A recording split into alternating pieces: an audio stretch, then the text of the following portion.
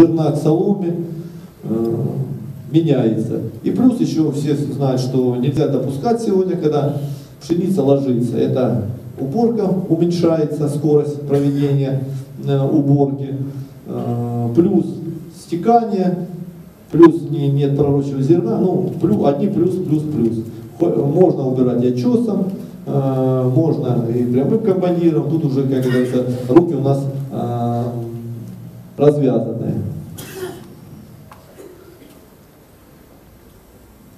Ну, это вот э, финальное, как оно все выглядело. Значит, как мы формируем урожай? Первое делаем почвенную диагностику. После уборки предшественников, ну вы видели там горох, лен, подсолнечник, отбираем почву, смотрим. Ну, сегодня же скажу так, можно и не делать, потому что примерно уже понимаем, примерно эта цифра э, сильно не меняется по фосфору, калию. А азот это зависит от предшественников. Э, как правило, 30 килограмм есть вещества, осенью мы вносим, чтобы хватило, как говорится, и бактериям, и вдруг, если затяжная э, осень будет, чтобы наша пшеница не начала желтеть э, и тому подобного от нехватки азота, а развивалась до ухода э, в зиму. Поэтому весной делаем всегда продуктивную влагу, вот сегодня уже сделали, потому что пшеница у нас в этом году уникальный год, она вегетирует, не прекращается, падалица ярового ячменя зашла, не помеза, не говоря уже о горохе. Поэтому в этом году вот этот промежуточные культуры, наверное, вегетировали бы, гибели бы не было. Честно сказать, не смотрел, ну, думаю, что и подсолнечник, падалица, э, возимый пшениц тоже не, не вымерз, потому что один или два дня было минус 8. Ну, это такая пороговая э, температура, что он, скорее всего, э, выжил. Значит, дальше отбираем на общий азот, и по горизонтам смотрим, где он находится.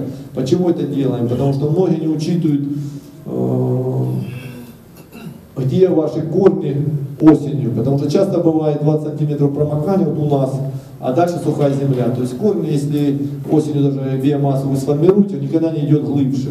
Поэтому нужно четко понимать, где располагается нитратный азот, мы берем до метра по слоям 0,10, 10, 20, 20, 30, шагом 10 сантиметров, видим, где он находится, и плюс аммонийный, то есть считаем сумму, и дальше уже прогнозируем, какую урожайность, насколько нам замахиваться, потому что приход у нас нестабильный, может быть, может не быть, а продуктивно мы уже сегодня видим ну, среднее 120-140 в этом диапазоне у нас есть. В прошлом году было 200.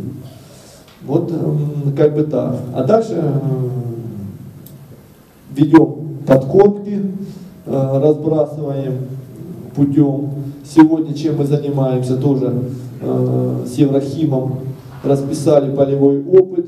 Все-таки вот коллега передо мной сказал, что э, но у нас еще не столько пожнивных остатков, потому что кукуруза 10 тонн и пшеница наша карлик 7 тонн, немножко разное количество пожильных остатков. Но все равно мы видим проблему, что разбросом первый подкорм еще не возникает проблема, а вот во вторым, когда почва подсыхает, уже всегда нужно смотреть под дождь или во время дождя и проблема. А чтобы это решить, мы сегодня с Еврахимом связались и хотим перейти, вернуться, э, то есть к нашему доброму, старому, проверенному кассу. Когда-то от него ушли, потому что технологически было э, вносить, хранить, логистика проблема, перешли на разброс. Быстрее, проще, но понимаем, что это связано с потерями. Теперь хотим вернуться в комбинированное селитра плюс касса, особенно второй подгрузок плюс идет инжектор укалыванием, там виквилайзер сегодня вот это туман наш выпускается, то есть, ну, орудие какое будет, но принцип должен быть, что газ и укол, потому что Здесь э, руки развязываются, все-таки под поживные остатки нужно наносить. Это правильный подход. Не всегда его, мы над этой темой уже года два-три думаем. Но это инвестиции, это есть сомнения какие-то, ну лишь получается. э, то за, за зачем идти куда-то. Поэтому ну, решили пойти таким путем. С Еврахимом связались э, совместно, полевой опыт, они сдают препараты, э, мы, значит, закладываем и потом смотрим, что получится. То есть через год я смогу рассказать, что из этого э, вышло, то есть что мы получили, прибавку, то есть или уменьшили, или экономика у нас э, лучше стала вот, от этого действия, потому что интересная тема это жидкий аммиак, но с ним очень много проблем, логистики, внесения и тому подобного, и вот этот газ. В принципе, это темы живые, темы э, нужные, но к ним нужно кажется, подойти. Подойти, посмотреть, все просчитать, где-то адаптировать и тогда двигаться, может быть, вперед. Вот мы этим сейчас э, занимаемся. Вот это табличка, это то, что мы получили э, за счет, все знают, наверное, 7 дней хлеб должен стоять, потом идет э, физическая потеря за счет влажности, 14 влага молодежь или 8 плюс, не дай бог, дождик э, попал, натура уменьшилась, стекловидность ухудшилась и тому подобное. Ну, каким путем решать? Ну, наверное, увеличить рабочий день. Ну, наверное, можем до какого-то предела, но сутки не можем молотить. То, то, второе, купить комбайн, ну, наверное, тоже неэффективно, на 10 дней брать их в два раза больше. Ага, нанимать тоже дорого. Ну, решили, а давайте вот посмотрим. Вот все эти сорта, они, в принципе, по урожайности 1-2 центнера там радуются. Ну, что они нам дают? То есть начинаем со стана. Со стана. Я знаю, что убираем 500 гектаров, вот полторы тысячи нужно его посеять. Потом подойдет гром. Ну, наверное, его из там 6 тысяч можно посеять 2,5, чтобы 5-6 дней этих молотить. И как раз подойдет Юга Алексеевич, и мы этим сортами закончим. И у нас получается, что мы меньше 13 влаги не молотим, не теряем э, урожай за счет э, ни, низкой э, влаги. Плюс у нас нету полегшего, плюс э, потому что под дождик, если попали, если, когда вы сами все не хуже меня знаете, если э, до философической спелости зерна не опустилась, и один дождь то практически никаких изменений не проходит. А если уже на 12-10 влаге дождь накрывает, то все, сразу обесвечивание, натура уменьшается и тому подобное. Поэтому мы как бы вот так вот решили на то количество подготовленных механизаторов, а, комбайнов, разложили и все. Потому что ну, здесь вот я уже говорил, вот химобработка, регуляторы роста. Это риги, хлорметватхлорид мы работаем 1 литр, модус работаем 0,2 и хэм. Это вот о чем я говорил перед этим. Сейчас меня спрашивают, какие препараты, пятое, десятое. Это вот на полях, которые мы тест-драйвим. Сегодня мы, как у нас элемент технологии, это вот химобработка, это востовский препарат, один литр, это у нас уже как не обсуждается. Мы работаем. Второе, вот, модус ИХФ, это пока смотрим на демонстрационных посевах, да, работаем, тест-драйв, ну, смотрим, нужно ли, потому что это стоит средств, денег, но и тенденция идет к тому, что, скорее всего, вот это будет в этом году, наверное, да. Э, потому что я вижу, что той влаги на 7 тонн у нас не хватает по приходу. А сократить растения на 10-12%, значит, как бы я э, добавлю. Поэтому что еще бросалось? Ну, не смотрите, тут старый проверенный колоссаль, это не знаю, что его написали, но колоссаль уже у нас не применяется. Мы сейчас ракурсом, спиритом работаем по озимой пшенице, это тоже августовские препараты, ну, прекрасно работают. Это вот терра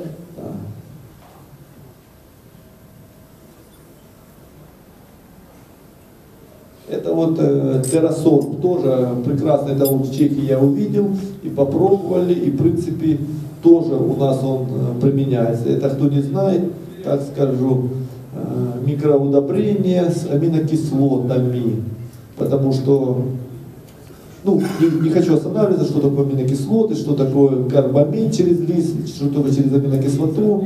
Э, штука хорошая, работает, да, поэтому если нужно быстро помочь растению, вытащить его из стресса, то лучше э, препаратов, в принципе, я не говорю, что это террасол должен быть, может быть аминокат, может быть там э, вуксал, много на рынке сегодня э, хороших препаратов, которые все, они в принципе работают.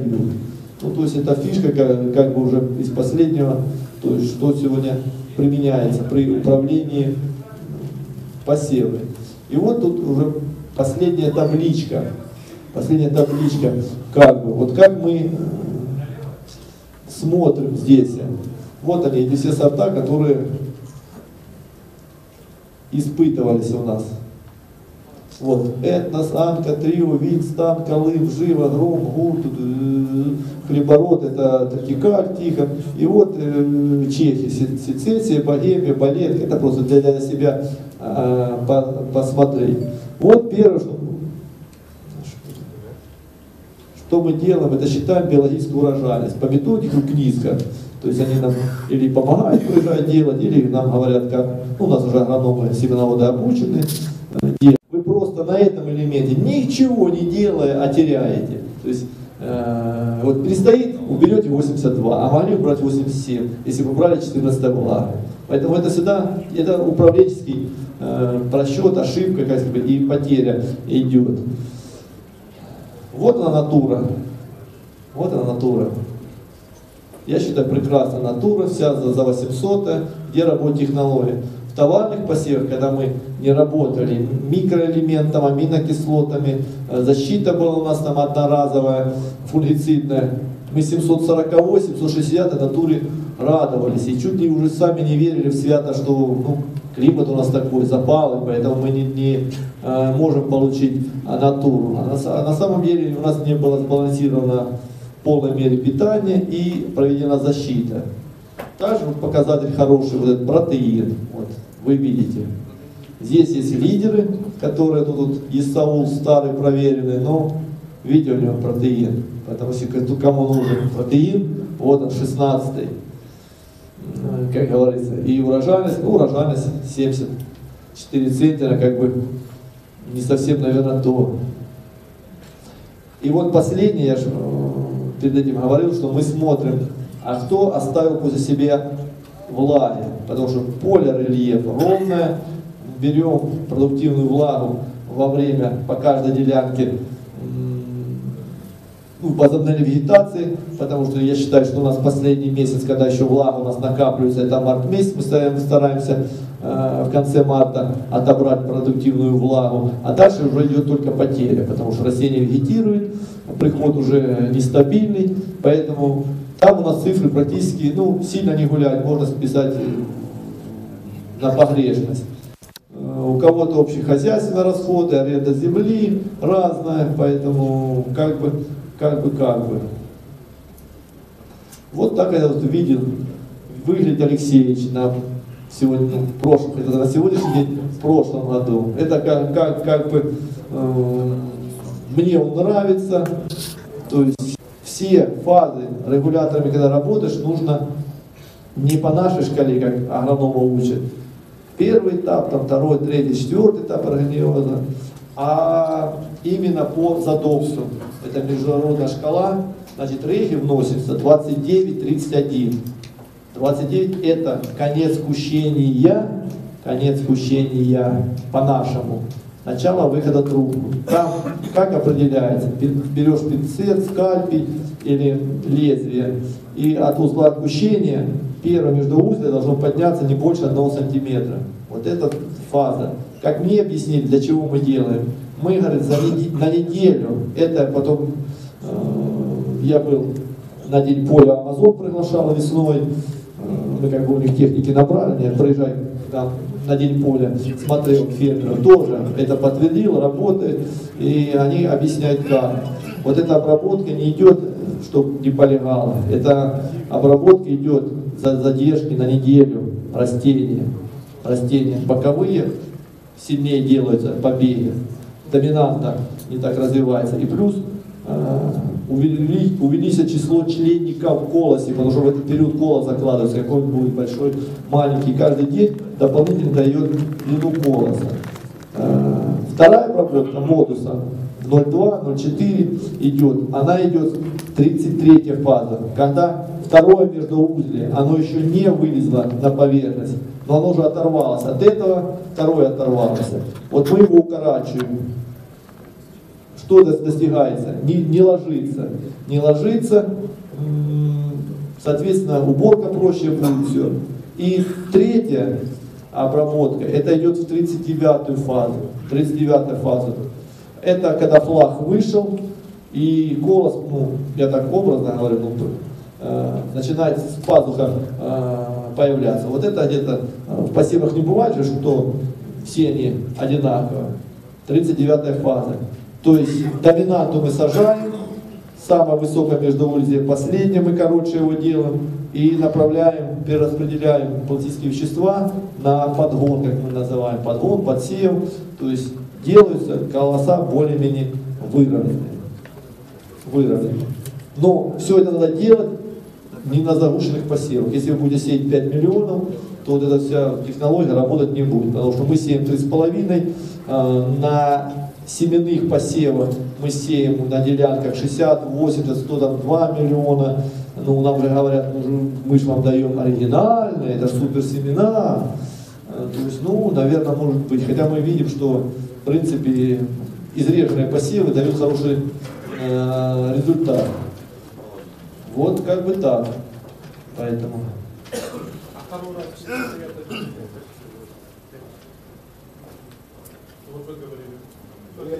Хэв, хэв. Илья Николаевич. На- Значит, и в Европе действует вещество этифон. В Европе и называется, то есть, он, так, сейчас помню, церон. Начал искать, у нас и нашел. Аналог выпускает щелоковцы. Щелоков Химпром. Хэп. Прекрасно работает на ячмене, никакого полегания, перестояния. Но ограниченно выпускает, если кто хочет брать, надо заранее заказывать. Я в этом году тоже, да что там успею, мне там канистру надо, кинулся, вот у нас хозяйство было, забрало, ни на складах нигде не нашел, пришлось там, хоть с канистру со склада принесите, привезите мне на опыты. Какой-то Э, сироп. да, да. Вот как бы так. Вот хэп это действующее вещество этифон. Он может это щелкаться. В Европе он церон, у нас не зарегистрированы, у нас его нет. Ну, модус есть, э, э, Реги, э, Абустовский, Флорметрацер, есть ЦЦЦ, тут как говорят, есть э, ритоцел, то есть, а здесь вещество одно и то же. Поэтому кому что нравится, берите, э, пробуйте, понравится, будете Э, ну, картина как подстриженная посевы. Кто был на полях и видел, там, где не ходил опрыскиватель, они выше, рваные, там, где как палочку можно ложить. То есть мы в этом направлении движемся. Все, время прожимает, дорогие коллеги. То есть, а?